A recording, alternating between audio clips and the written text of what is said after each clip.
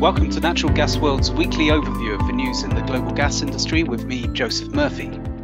EastMed producer Energean has penned deals worth $2.5 billion for the supply of 1.4 billion cubic meters per year of gas from the Karish field it is developing off Israel. The new deals cover gas supply to Israeli power stations. They will become active once Karish starts up, expected in the second half of 2021. This brings total contracted volumes from the project to 7 BCM per year, meaning Energean only has 1 BCM of capacity at the Karish FPSO unit left to sell. Energean says it is looking for buyers both in Israel and further afield. It is also preparing to take a final investment decision later this year on Karish North, a satellite field of Karish. Sticking with Israel, the country's Petroleum Council regulator has approved Chevron's $5 billion takeover of Houston based producer Noble Energy. Noble is operator of Leviathan, a field off Israel with over 620 BCM in recoverable gas that began production in January. Closure of this deal, expected early in the fourth quarter, will also see Chevron build up its US unconventionals position.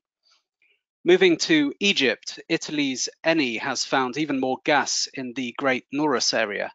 Eni and partner BP reported a discovery this week at the Abu Madi West development lease in the Nile Delta. It was made four kilometers north of the Nooros field, which Eni began producing from in 2015.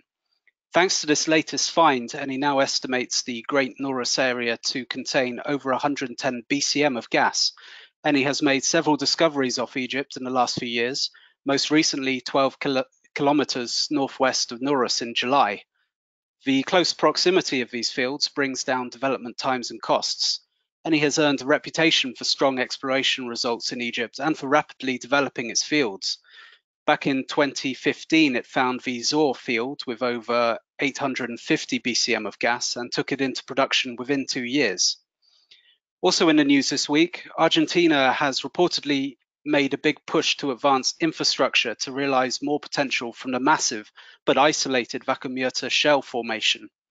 The country is reportedly in talks with Brazil on building a $4.9 billion pipeline to flow gas from Vaca Muerta to Brazil's Porto Alegre. Both governments are keen on the plan, and there have already been discussions with potential investors, according to Reuters. The pipeline would help galvanize Vaca Muerta's development and provide Brazil, an LNG importer, with greater amounts of likely cheaper pipeline gas.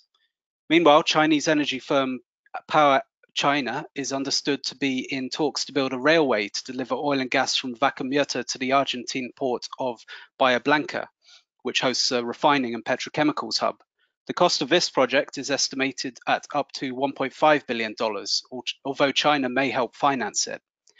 Vaca holds an estimated 11 trillion cubic meters of gas and 16 billion barrels of liquids, but it has not lived up to its potential, and greater investment is needed in exploration and production, as well as infrastructure to bring its oil and gas to markets in order for output to keep growing. Russia looks set to move forward with a long planned IPO at its state shipping giant Sovcomflot, the wholly state-owned company is expected to sell a 25% stake in October, according to Russia's finance ministry, raising $500 million. The funds will be used by Sovcomflot to invest in new projects and lower its debt. Banks VTB Capital, Citibank, Sberbank, JP Morgan, and BofA Securities have been picked as global coordinators and bookrunners for the issue. Sovcomflot owns nearly 150 tankers, dry cargo ships, and other vessels, including a fleet of 15 LNG carriers, and it earned over $820 million in core earnings last year. An IPO was first proposed nearly two decades ago, and talks of the company's partial privatization have ebbed and flowed ever since. Russian officials announced an, an, offering in 2017 as part of a push to raise funds for the budget after several years of low oil prices. But as prices recovered and Russia's finances improved, the plan was shelved. At that time, Sovcomflot's debt pile was expected to deter investors, but its net debt to EBITDA ratio is now only 2.7 compared with over 5.3 back in 2017. This has been Natural Gas World's weekly overview of the news in the global gas industry with me, Joseph Murphy. Thank you and see you next time.